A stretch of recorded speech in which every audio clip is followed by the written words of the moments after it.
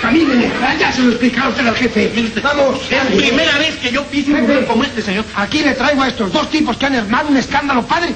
Pero yo no les entiendo lo que dicen. Un chorro de felicidad se anida en mi pechuga al llegar a la balanza de la justicia.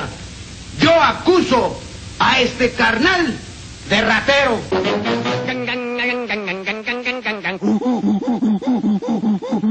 Pelotera armada en el Congreso Estatal. No, no, no, no, calma, calma. No es otra manifestación de la UGED. Es la diputada panuchista Gina Campuzano, que no le cabe en lo posible que se aprobaran las famosas tarjetitas para el camión.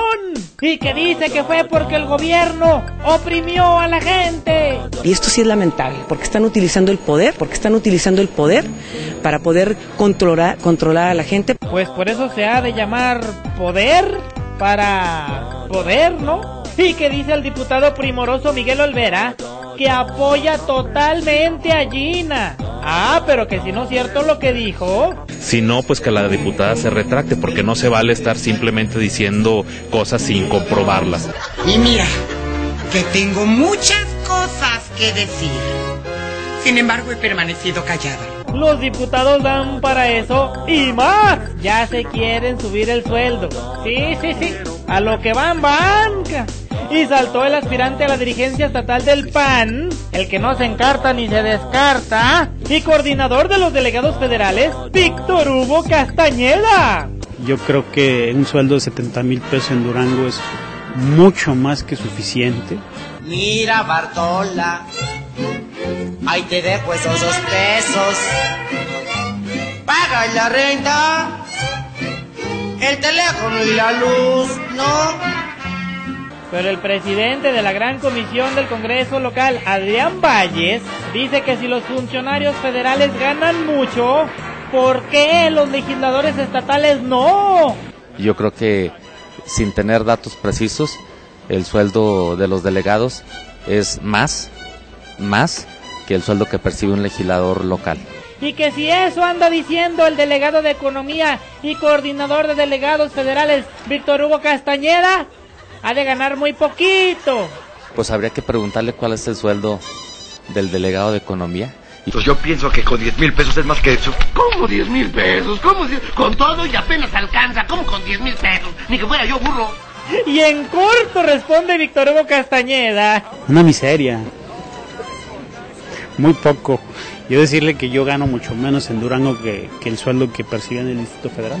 ¿Y como cuánto será?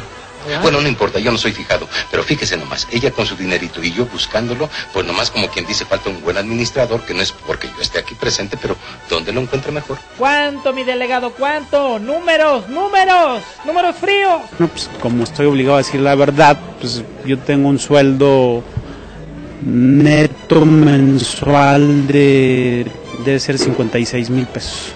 Es más, estoy muy preocupado por ustedes porque los considero como una familia, compañero. ¿A poco nos considera como de su familia? Claro, como mis parientes pobres, compañero.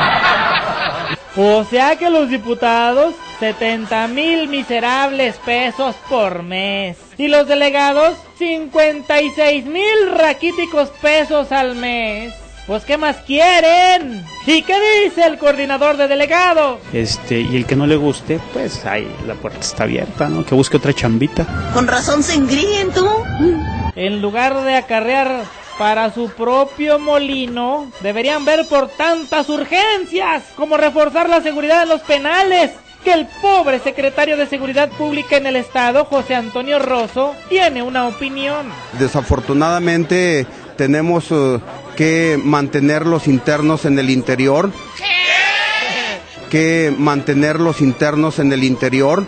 ¿Cómo se ve que fueron escuelas de gobierno de veras? Pues claro, hay que mantener la barriga llena, los internos al interior, los externos a salvo, el sueño por las noches y el morlaco en la bolsa. ¡Ah! Y los políticos que se quieren pasar de listos con el hueso en el pescuezo. ¡Necesito dinero! ¡Déjenme pasar! Necesito dinero, pero mucho dinero.